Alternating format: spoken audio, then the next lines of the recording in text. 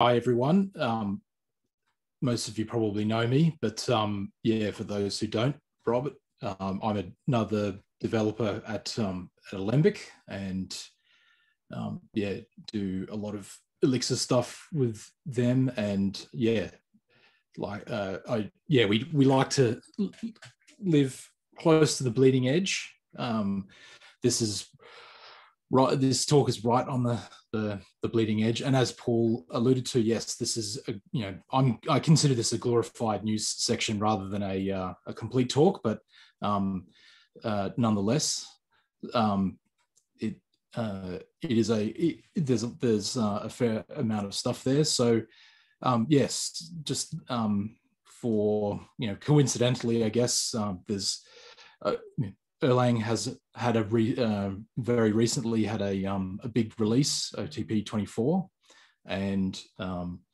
at the same time, uh, Elixir 1.12 is very close to um, coming out. Uh, it's not quite not quite there, and there's a couple of other things um, in the Elixir ecosystem that are sort of happening at the at the uh, uh, all at once at the moment as well too.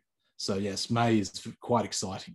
Um, so yes, back on in May 12. Um, OTP 24 came out, um, and it is the first release that has the um, the new JIT compiler, Beam ASM, um, as default, um, and a whole bunch of other things uh, in, in OTP 24 that are fairly low level.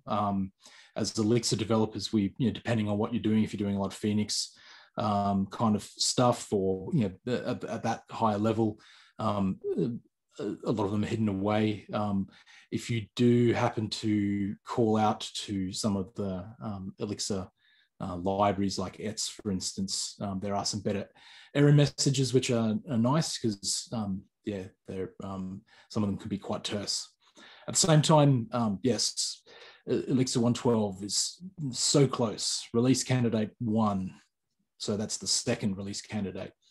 Um, and uh, apart from being compatible and integrating with OTP 24, um, there's a whole bunch of other uh, things in, in there. Um, some of the things I want to go through with that are, um, yeah, some of the improvements to scripting um, uh, uh, and uh, some, uh, yeah, other, other, little, other little niceties. And then outside of um, the uh, core uh, library, there's uh, Livebook, which I'll talk about uh, very soon, and also Axon, which is part of uh, NX. Well, in fact, Livebook is as well too.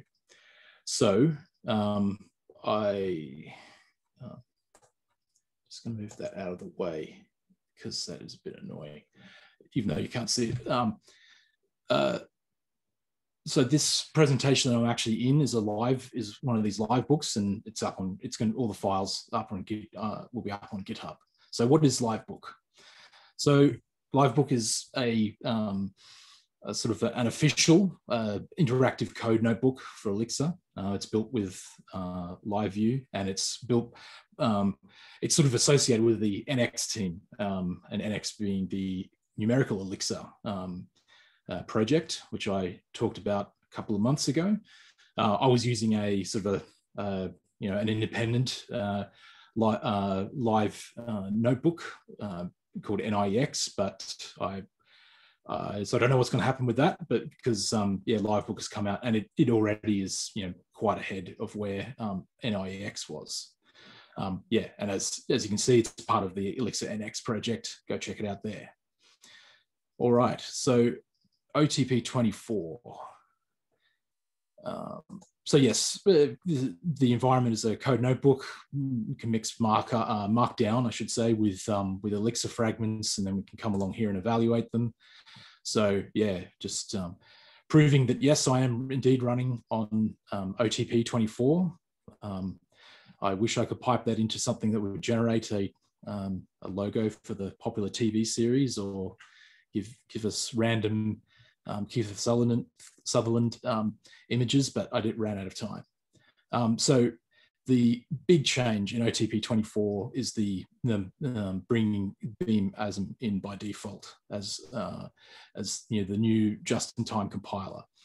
Um, so what Beam ASM does is um, yeah it converts at load time Beam files into native um, x86 64 um, and uh, yeah, rather than um, rather than uh, dispatching different um, uh, beam instructions to functions that um, that are that are um, potentially handwritten and slow, um, yeah, it can um, uh, it, uh, it, can instead dispatch out to just in time natively compiled code.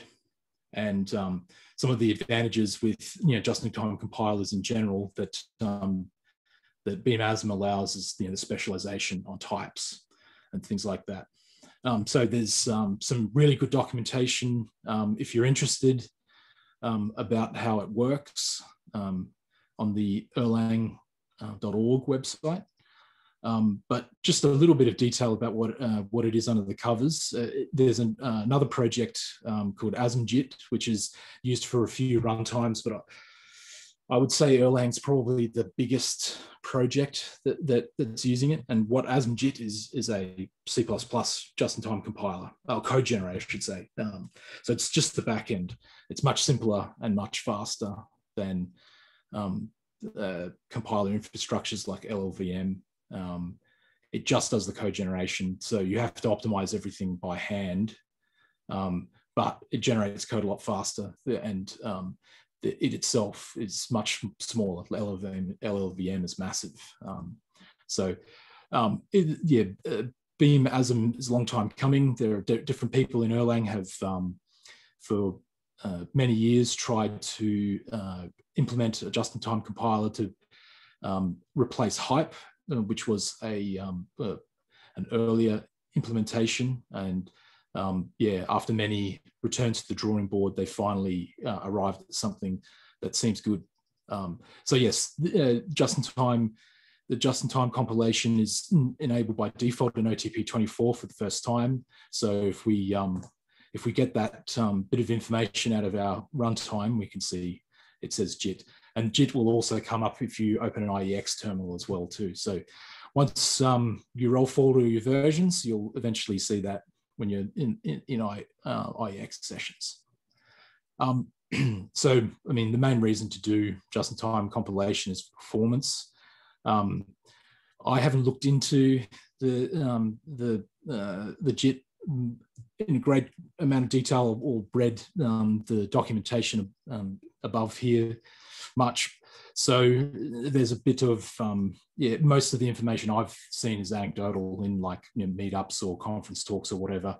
Um, so um, the one of the goals in terms of performance was to not blow out the code memory size. Um, what, what, happens with um, some just-in-time compil compilation um, or compilers is that you end up having a lot more um, memory allocated for your you know many many native instructions compared to um, a, few um, interpreter instructions. And so you would you lose some of the benefits um, if you start getting cache misses etc so they've tried to keep that at a minimum. And the the other day i was on a meetup uh, elixir meetup in where was it? Birmingham uh, alabama i think um, that just happened to line up time zone wise, and Robert Verding was there, and uh, he, um, well, yeah, was, actually, yeah, some,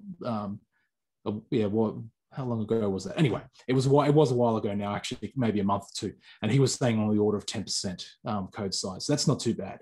You, you know, your um, you know, your code memory increases by ten percent to get a benefit of just in time uh, performance.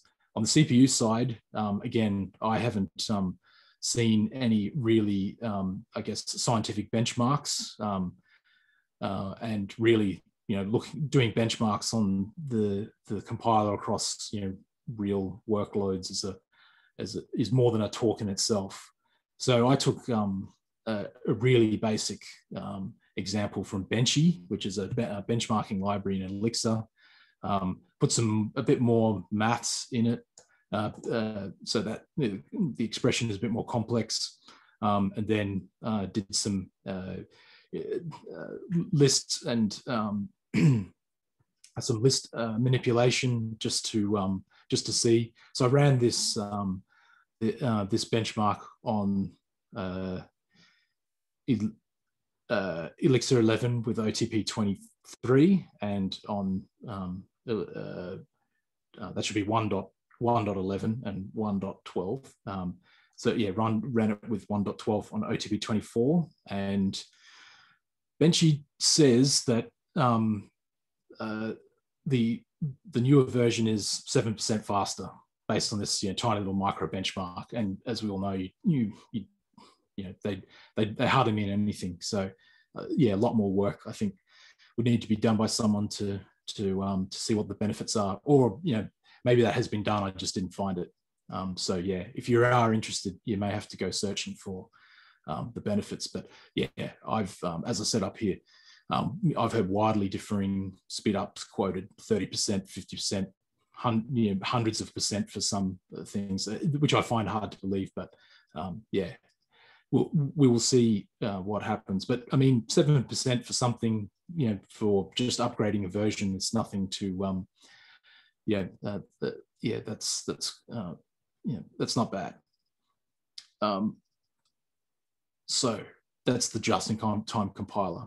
Another mm, so interesting and uh, welcome uh, change in otp 24 is this EEP 54 which i believe stands for erlang extension process 54 a bit like a a JSR or whatever they were. What would they? Um, Java, something or others. Anyway, um, yeah, Erlang have the same kind of thing. Um, and this particular one um, extends error information in a lot of the built-in functions. Um, and um, so that's that's been implemented um, and available in OTP 24.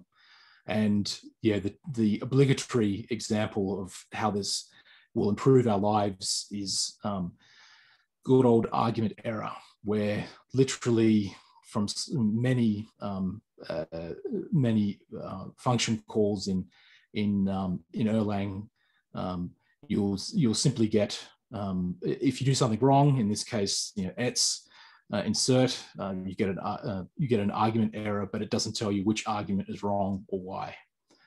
Um,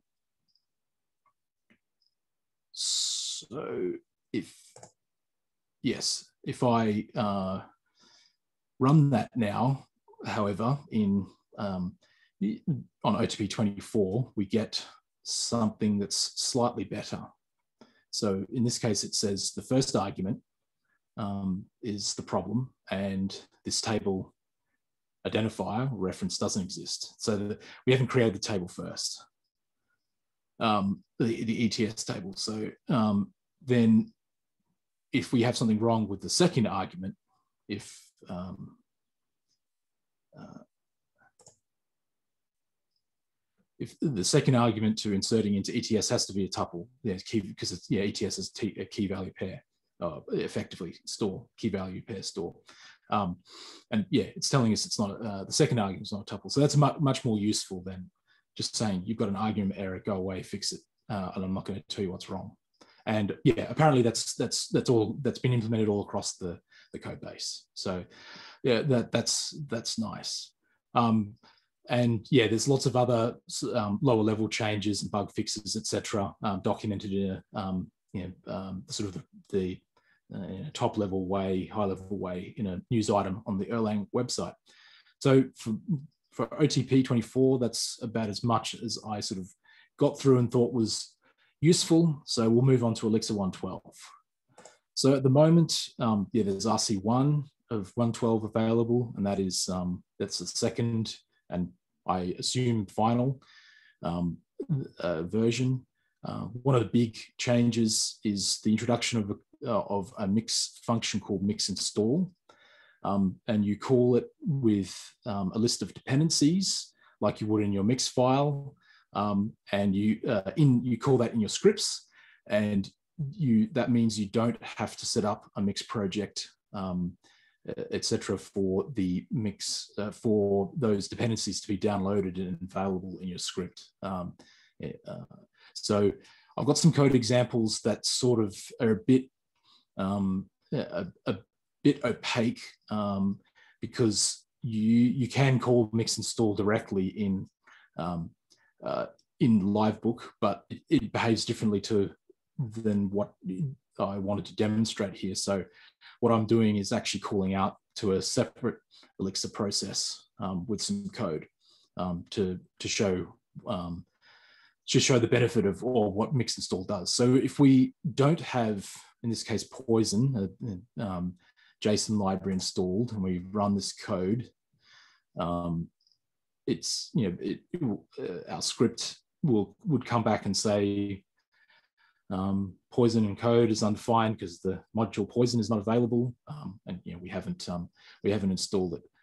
Um, however, if we run the same code but uh, uh, prepend mix install um, of the library, and this is you know this pretty much the same format as um, uh, as you would need in um, uh, in your mix file, except in this case because we're not worried about versions, we just put the uh, put the the, the, um, the symbol there, and we run that.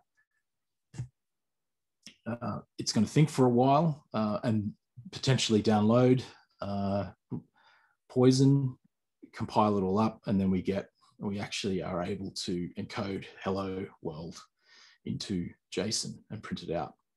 So yes, as I say in the comments here, the, mm, this whole thing I've done here is a bit of a hack, but if you if you need to do Elixir scripts, um, yeah, or um, you uh, install libraries into a Livebook, um, mix mix install is the way to go. Sorry, if you reevaluate that right now, does it kind of re-download? Uh, it will in my case, but um, I think because I have forced true in there. If not, it, it I don't think it does. Um, uh, yeah. Uh, so if thanks. Yeah, at some point it's um it does you know, build up a cache somewhere in um so I believe you have to have you have to have Mix installed and Mix has um, various paths and so libraries get downloaded into that global a global cache. Um, but I believe you know, Force blows that away um, each time. Um, so um, yes, uh, yeah, you run your script once and it will take a long time, but subsequent um, so subsequent runs uh, will be should be fast. Cool. Um, then yeah, in Elixir, there's a whole bunch of new functions or you know fixes. So thought I'd run through some very quickly. Um, so we can we can trap signals now. Um, basically, just got something here that's going to send um, and uh, um, the um, uh, SIG user two. Um, so again, a bit of hacky code here to actually get all this to work in a in the context of a live book. But you know, I'm sending the kill command um, to to uh, the the OS PID, not the not the Erlang PID of, my uh, of of this Livebook here, um, getting the message and printing it out. So hopefully that will run. Yeah, got C user two. So basically, yeah, trapping that trapping that signal and doing something, getting it back in into myself. And yeah, again, all this this gymnastics gymnastics with processes and that sort of thing is purely to get it working in in this in this demo. But um, yeah, uh, trapping of signals is I I did in a previous life have to worry about trapping signals um, because of the you know where where my stuff was getting deployed into and it was a bit of a pain in the butt and the way it was getting executed. Um, so yeah, I think um, the um, uh, yeah being able to trap signals and do stuff gracefully with OT uh, with um, like yeah OTP like gen servers and and um, that sort of thing would be a, a, uh, yeah would would make certain people's, especially in the Opsy world, uh, their life a lot um, a lot like lot nicer. Um, in the kernel library, um, there's a couple of new functions, uh, then and tap. So um, they're, and they're both um, to help with um, making pipelines less messy. Um, so if we um, if we have a, a pipeline where where we want to convert some map into a into a struct, the problem is that there is a uh, like a, a, a struct uh, function in in kernel, but the um, uh, the the thing that you typically typically want to weave through a pipeline, this map is actually the second um, the second argument. So um, uh, uh, in yeah so uh, what um, what uh, this this first example is doing is sort of the the old way without then um, and uh, basically an, writing an anonymous function that uh, swap uh, you know, swaps the arguments kind of. Um, uh, and you know of course if we had if we had flip we we wouldn't need to worry about it. But um, yeah so there's a little bit of uh, anonymous function gymnastics happening there. Um, but if we try that again uh, with using then, um, we you know it, it works, uh, uh, and um, yeah, it's a it's a lot uh, it's a lot more compact. We can you know, pass struct in as an anonymous function, and um, uh, yeah, uh, it will.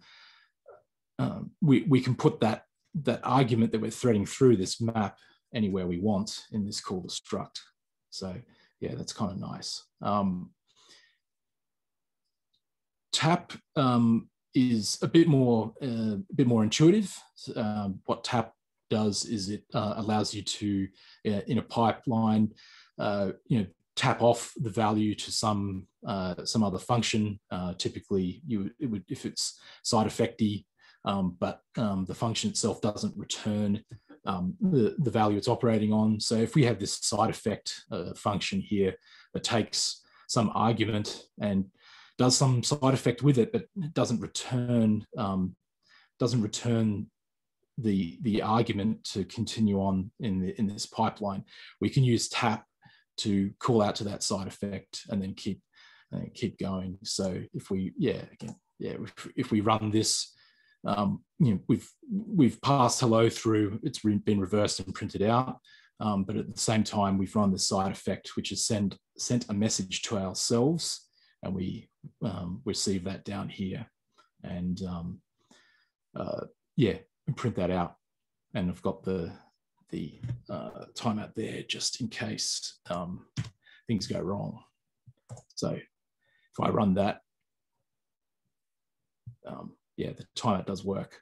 And in fact if we don't have this after it all, I think um, sort of a meta note about Livebook is that it actually it actually does kill stuff um, if it if it finds that there's some kind of runaway process. Um, so you don't you yeah, it's kind of safe to do you know low level things like receive inside this live environment. Um, another feature, step ranges.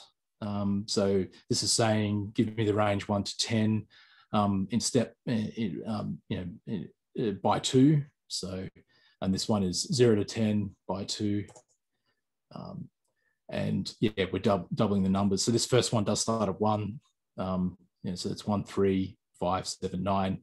And this one is doubling, you know, uh, zero, two, four, six, eight, 10. Um, uh, I haven't looked at the the full reason that they're pushing this, but pretty much this is going to be the new way of doing ranges.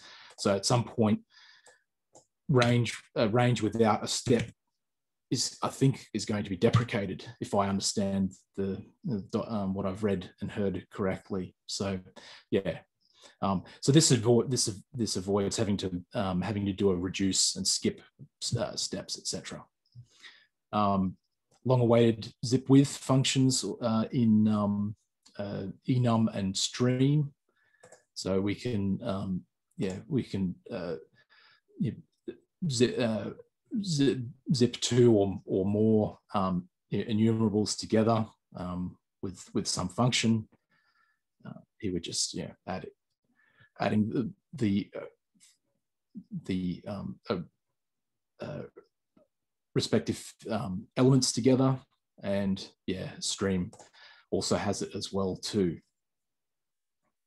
Um, and again, like OTP24, there's yeah, there's you know, massive numbers of um, uh, amounts of bug fixes and other little uh, little improvements. Um, and uh, yeah, it's pretty well documented in the last two release candidate releases on GitHub. So I'm not sure if that by default that shows shows the pre-releases, but if you go to the uh, Elixir Lang um, uh, GitHub releases page and click on pre-releases, you'll get um, uh, you, the last two, RC1 and RC0, mainly RC0 actually, um, have a lot of detail about all the little fixes. There's lots of um, you know tiny little tweaks here and there to the um, to a lot of the standard library um, and associated things.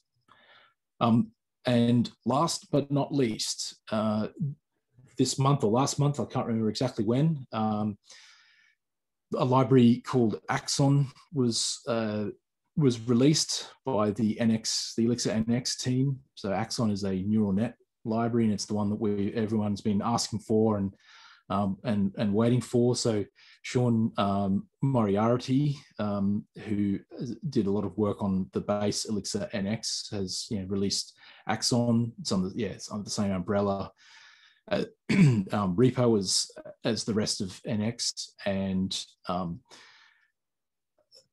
it um, yeah it basically uh, abstracts away all the low level stuff you need to do with NX to to build um, to build neural nets. I only have part of an example. Um, I ran out of time, but here here's mix install how you'd actually use it. Um, like if you're doing your own uh, code notebooks or your own scripts. So this could be an EXS file or what have you. Um, so we're installing Axon and and, and, NX, and you can see that um, yeah, it's pretty much the same the same um, uh, format as um, what you need in, in your um, in your mix.exs files for dependencies.